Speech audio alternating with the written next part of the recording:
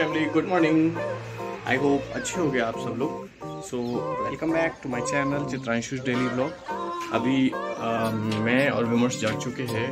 गर्मी बहुत ज़्यादा है इसलिए मैंने अभी टी शर्ट भी नहीं डाला है विमर्श ने नहीं डाला हुआ बट हम जा रहे हैं एक डिश बनाने के लिए जिसका नाम है की भाजी और इधर विमर्श चपाती बना रहा है. तो चपाती हो चुकी है अभी.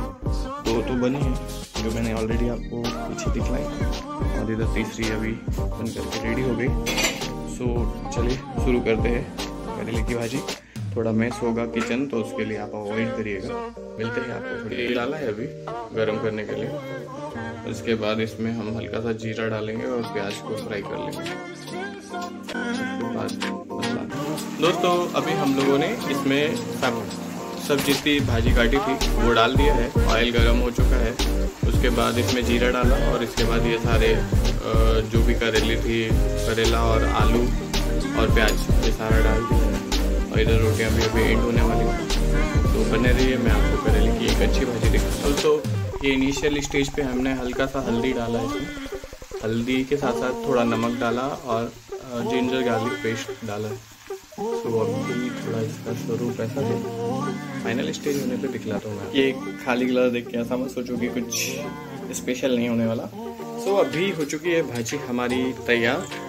ऑलमोस्ट सेवेंटी परसेंट कुकड है बिकॉज़ अभी मैंने टेन मिनट के लिए इसे ढक दिया था ताकि ये करेला जो दिख रहा है ये प्रॉपरली थोड़ा स्टीम के साथ हो जाए। इट्स गोइंग ऑन और इधर साइड में बनाने जा रहा हूँ मैं आज कोल्ड सॉरी आइस टी जिसमें हमने डाला है पानी में चाय पत्ती, थोड़ा सा अदरक और इसके बाद अभी इसे रखते हैं ठंडा होने के लिए। इधर अभी आइस टी में हमने एक इंग्रेडिएंट डाला मिंट जो कि सूखा हुआ पड़ा था मेरे पास और इधर मैंने काट रखा है थोड़ा सा टमाटर, थोड़ा सा प्याज और काटूँगा दो चार मिर्चियाँ, और हम बनाएँगे masala oats and ice tea तो बने रहिए।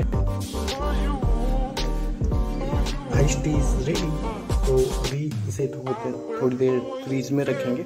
उसके बाद इसके साथ थोड़ा और डेकोरेशन करेंगे, फिर आपको दिखलाते हैं। तो दोस्तों, भाजी हो चुकी है रेडी तो फाइनल टच देने के लिए मैं इसमें मिला रहा हूँ मैजिक मसाला क्योंकि मैगी का आता है, आप भी भाजी में तैयार करो। बहुत ही खाने में टेस्टी लगता है। इसे ज़्यादा नहीं हल्का सा ही डालेंगे। क्योंकि आधा बचा के रखेंगे हम अपना ओट्स बनाने के लिए। ओट्स भी बनाना स्टार्ट करते हैं। भाजी मेरे ख्याल से अभी हो चुकी है रेडी दो मिनट की और दे दिए इसे मिक्स कर देते हैं, फिर उसके बाद मिलते हैं। मसाला ओट्स के लिए मैंने ऑयल ले लिया है, जो कि अभी गर्म भी हो चुका है। तो इसमें थोड़ा सा मिलाते हैं चीरा इस जीरे को थोड़ा तड़का लगा देंगे। रोटी कर ली है। क्योंकि पैन इसका पतला है तो ये बहुत जल्दी गर्म हो जाता है। वो देख रहे हो आप। ब्राउन हो चुका है हमारा जीरा। हम उसमें डालेंगे।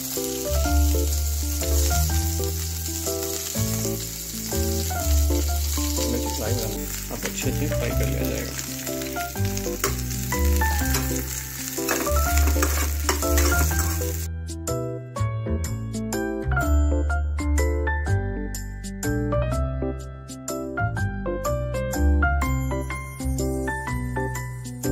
देखो, सब्ज़ी का कलर सब्ज़ी अच्छे से पक चुकी है। इसको गैस को कर देते हैं। फिर यहाँ पे करते हैं स्टार्ट मतलब हमारा आइस टी हो चुका है इधर रेडी हो चुका है, रोटी।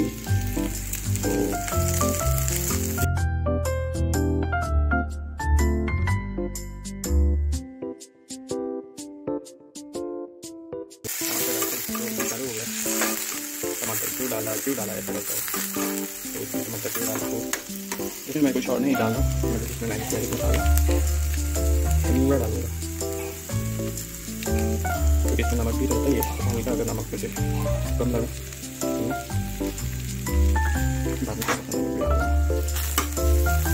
अभी इसमें हल्का सा पानी लगेगा। सो अभी ये मसाला है इसमें थोड़ा पानी मिलाते हैं। सो आप देख सकते हो, पानी मैंने डाल दिया था ओट्स बनाने के लिए। तो थोड़ा सा ये बॉयल भी होना चालू हो गया। तो ये जब ये छा घट जाएगी तो इसमें हम थोड़ा आज धीमा करके इसमें हम ओट्स डाल देंगे। और उसको स्टेयर कर देंगे। हमारा मसाला ओट्स रेडी हो जाएगा। फाइनली हमारा मसाला ओट्स बन करके रेडी हो चुका है। ये देख सकते हो, इसका लुक बहुत अच्छा आया हुआ है। तो इसे मैं सर्व करता हूँ प्लेट में और फिर आपको मिलता हूँ फाइनल स्टेज पे। ये हमारा फाइनल स्टेज लेमन टी का स्टार्ट करने जा रहा हूँ मैं। इसमें रखा प्रोडक्ट तो ठंडा नहीं हुआ बट ग्लास ज़रूर ठंडा हो गया ट्राई किए प्रोडक्ट भी ठंडा हो जाता तो। अच्छा रहता। बट देखते हैं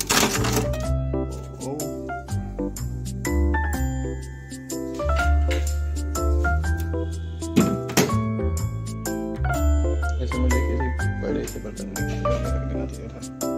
तो यहाँ पे हम जाते हैं। लॉन्ग है क्या? अच्छा। Tea this ice tea is going to prepare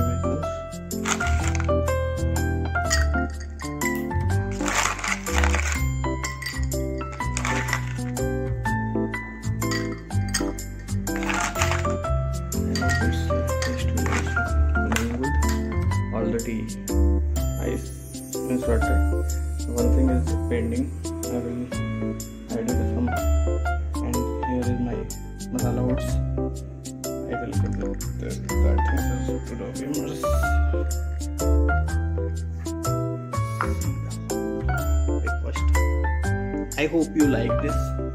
So if you like this you can continue with me. See you soon